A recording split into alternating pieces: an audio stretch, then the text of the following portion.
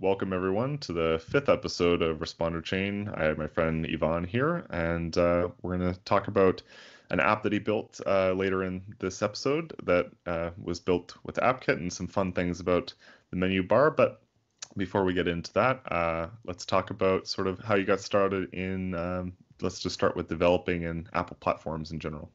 Yeah.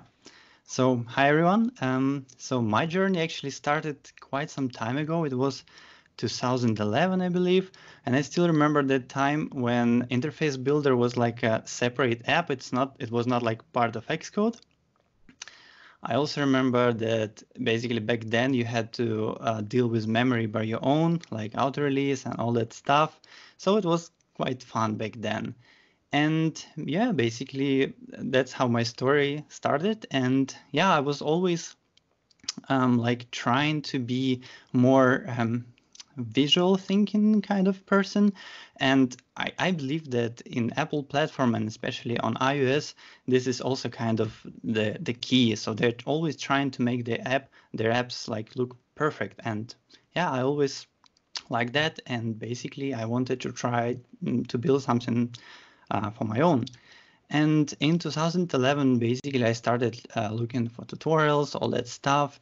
And um, back then, there was pretty small community, but still, in my country, in Ukraine, I was able to find some people who basically just helped me to start with some things. And I was basically developing some really simple stuff, and they were teaching me. Uh, they, yeah, that's how it started. Then again, in 2011, I was able to find my first job it was basically start, start a starting point for my career. And yeah, since that uh, moment, I've been developing constantly Objective C, then Swift, and yeah, that's how I uh, basically came up. Yeah. Cool. So did you start with iOS originally, or um, did you start with Mac OS as well? No, that's actually funny thing that I was able basically to implement my first macOS app only now in 2020.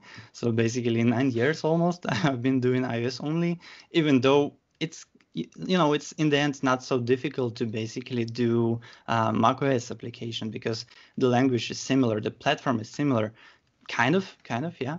Also, some people are joking that basically, if you want to do a macOS app, you just have to exchange UI with NS and you are done. Basically, every class like NS View, NS Image, whatever, is basically similar. It's not. yeah. Sure. Yeah. Yeah. No, I mean, uh, I, I get that a lot with, well, I feel like people that have built Mac apps, they they generally say that it's similar enough, and the it's, people that haven't are bewildered by Mac OS development for some reason, and I've never quite understood that. I mean, I, I understand that it has its quirks here and there, and I think the View, uh, NS View versus UI View is definitely the the largest difference there. But once you kind of get over the differences between UI View and NS View, I've always kind of found that the rest of the controls are very similar. I mean, there's collection view, stack view, table view, right? I mean, they all kind of behave in very similar ways, and maybe you have to learn slightly different things. But um, yeah, so it, I I'm I'm glad at least that you found the transition not to be that bad. So. yeah, cool. of course I had some difficulties. For instance, if we're talking about like simplest view, which is NS view, my confusion was this is flipped. Like mm. it's basically using different um, orientation kind of uh, or origin point or whatever. And right. for me I, I, came basically from ios where everything was like pretty straightforward. But this particular thing it was completely different. And if you mess up with it or you just forgot to to use it then then you're screwed. Like like your ui is completely different. And it's not that obvious at least for me because it's my first application not that obvious to realize what is actually wrong with my ui and then when you're like reading some um, tutorials, reading documentation, then you see, ah, there is like is flipped thingy that you have to use. Yeah, yeah, that that that is a definitely a quirk. I mean, it has its advantages as well, being able to kind of flip the the coordinate space, whether it's the top or bottom. But uh, um, depending on kind of what you want to implement, it's sometimes easier to define it, uh, going from top to bottom or bottom to top, and uh, but there definitely are some some weird quirks in there as well. Uh, have you tried with uh, Swift UI at all yet, or have you kind of stayed away from that box? well, um, I tried. I cannot say that um, um, I have some kind of commercial experience with that. It's basically playing around here and there, trying different things, following tutorials. Um, right now, the community is that so big that you basically can find anything you want on that topic. Especially, you know, this uh, 100 days of Swift UI and different things 100 days. So um, so yeah, basically I've tried, but I don't have any commercial experience. Even when I started doing my application, um, I was thinking, okay, I basically have different options. I can make an app using Catalyst, for instance. I can make uh, something based on Swift UI, but in the end, I just decided to go with the old school way, which is AppKit, and yeah, I feel it's more comfortable for me this this approach to be honest, I still not get not get used to this um, declarative programming. So I'm more like imperative style person. Yeah, even though actually in my application I'm using Combine, I just don't feel comfortable at this moment trying something um, like Swift UI, for instance. So you actually integrated Combine into your AppKit project. Sorry. So you inter- integrated Combine into your AppKit project. yeah. Yeah, exactly. Initially, I, I wanted to basically uh, keep supporting um, macOS 10.15 Mojave, or 14 Mojave. And at the same time, I wanted to already try Combine. So I started Googling and I found that there are a couple of open source alternatives. One is Open Combine, another one is Combine X. Yeah, and I've tried first this Combine X. It's actually pretty similar. And uh, I mean, it has completely the same API as Combine and yeah it works pretty well. But then um, i realized that okay there is no actually point to support um, mojave because i know i think i believe actually that majority of developers they already switched to the latest um, os which is catalina and i just decided to drop and switch completely to um, combine the, the native one and the funny thing that i didn't have to change anything almost in my code because as, as i said it has the same api completely. So I mean, we haven't really talked about your app yet, but yeah, I mean, for your case, with your app is based on a development tool, so for for probably majority of developers out there, I, I kind of imagine that they're working on the latest stuff. Um, yeah. Probably weird. I mean, I know Xcode I think still works for like one version before up to a point, um, at least on Mac OS. But um, yeah, I mean most people would probably be on at least developer wise would be on yeah. the latest. So makes sense. Um, maybe uh, kind of actually interested in what you um, what you utilize Combine for in your app because I personally haven't really played around with too much. I mean, I kind of understand the concepts behind it, but I'm really not that familiar with it. So, kind of curious if you could speak to just what you actually used it in your app and why you wanted to use Combine over just some other standard approaches, I guess. Yeah, so the reason is quite simple. Basically, uh, in my company, I also had a chance to start um, working with Combine, but uh, I wanted to go deeper. So basically, it was a um, kind of thing that I can learn learn something by doing. That's why I decided, okay, I'm free to do whatever I want. It's my app, so why not? Why not? It can be a good opportunity to try something new. And yeah, they basically that was the first part that why I decided to go with Combine and um, how I'm using. Um, well, I have a networking layer, obviously. Even though it's pretty slim, I'm, I'm just doing just a few maybe requests. Um, anyhow, I decided to try um, to use it there. Um, and actually system gives you pretty good um, starting point like for instance url session they have a data task publisher you can immediately take it and start using also published uh, publishers around notification center they're quite also useful um, yeah and basically basically that's it so networking and other things um, okay. Yeah, also um, interacting with um, user uh, interface, like clicking buttons, dragging some sliders, whatever. Also, in my uh, case, this is not really a document-based app, but still um, I can open some files, basically JSON files, and edit them, and it automatically saves saves everything.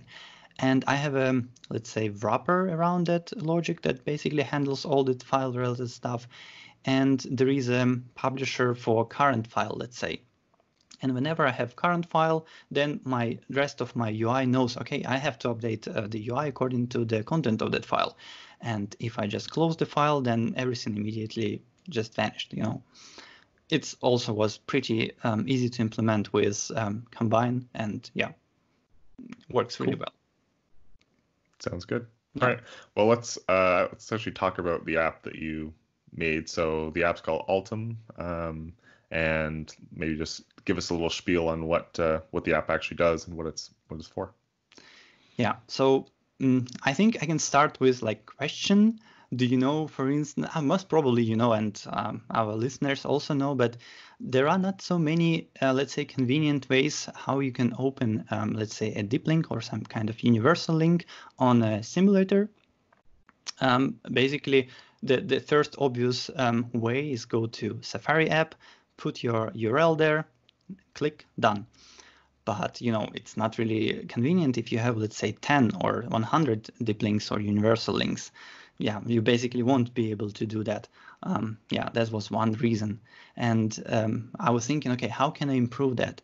And um, I think in Xcode 11, they've introduced, um, actually SimCTL tool was that back then already, but they introduced some additional um, commands you can basically utilize. And one of them was basically open URL. And I've decided, okay, that's also kind of interesting. I can use xcrun simctl to open something, but again, I still have to do it manually. I have to put all my links to, to terminal and doing that.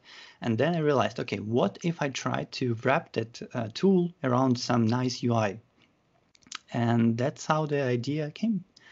Yeah, basically the application I developed helps um, developers um, work with uh, deep links and URL um, universal links.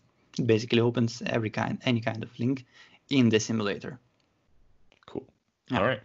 Well, uh, sounds good. And I kind of want to start diving into some of the code that uh, you worked on. I, you worked on some. Uh, this is a menu bar application, so you did some interesting stuff around that. And uh, there's a lot of considerations that most people don't make when they uh, try menu bar apps, and you kind of dove all in on uh, how to how to fully customize that. So uh, we'll talk a bit about that in uh, the next bit. Yep. All right, so uh, you're going to demonstrate how Altum works now with uh, using the simulators. Yeah.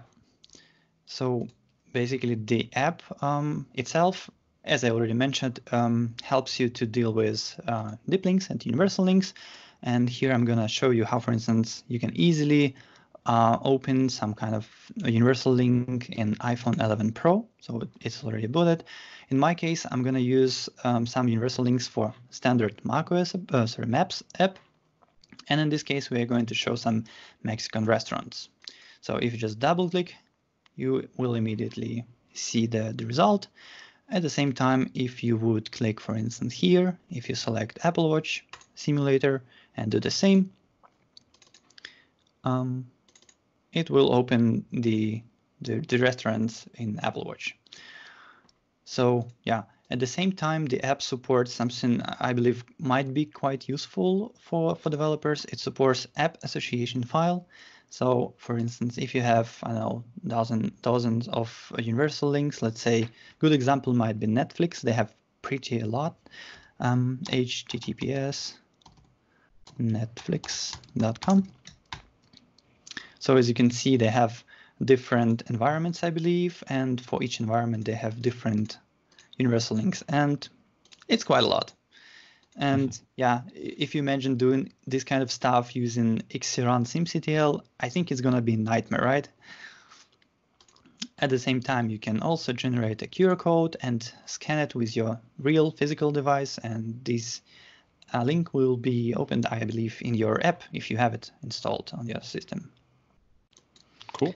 Yeah, and as you can see, um, the app is using um, cast custom NS window, and yeah, th there is actually standard one, which is NS popover, but I believe that it's not really customizable, or at least um, it doesn't fit to, to my needs. So in my case, I wanted to have different corner radius. I also wanted um, to have my own color here in this triangle. So for instance, if you're using standard NS popover and then you place some content inside, which has, for instance, red color, I believe no one will do that. But if, if so, then this triangle is still going to be, I don't know, gray. Yeah, depends on your appearance. So yeah and this, to be honest, doesn't look good. So to fix that, I, I, saw a couple of actually workarounds, but all of them, to me personally, they were kind of hacky. So I wouldn't put that to my app. Yeah. So sure. I decided, okay, what options do we have? And yeah, that's that's how I came up with my own implementation for that. Cool. At the same time, um, basically, this um, menu is also using the same technique, which I'm gonna highlight just in a moment. All right, so let's dive into what you've done to make that custom NS window. So yeah, I've started with um, custom, I call it popover, this library or yeah, small small thingy. It's it's open source. You can um, play with it. It's on my GitHub. I will will post link um, afterwards, and yeah, you can play with it. You can try different um, settings. The cool thing about this popover is actually um, it has quite a few, as you can see, quite a few configurations. So you can play with background color, you can play with border color, and so on. So it's pretty customizable, I would say. Nice. And yeah, basically, how can you use it? Yeah, you can um, create the popover itself with um, default configuration, or you can use, for instance, in my case here, you can see that I already subclass this default configuration with my own, where I changed some properties. So yeah, up to you, either to use default one or just uh, your custom one. Then the next step would be um, to basically set it up. In this case, you can you have two options. Either you use custom view, like in this case, it's just uh, NS view with red color, or you can use you can use any NS image you like. As you can see, it has here it has either NS view or just just a NS image. And then you have to pass the content. Now, if we take a look on what do I have here, the structure is pretty, let's say, straightforward. I didn't expect that it's going to be like that, but in the end, it's not that complicated. So for instance, here we have a popover window background view, which let's say um, is a heart of, of the component because it's basically responsible for drawing all of that. It's responsible for uh, for the shape, it's responsible for the position. So for instance, if you move this guy here, you see that the position of this arrow also changed.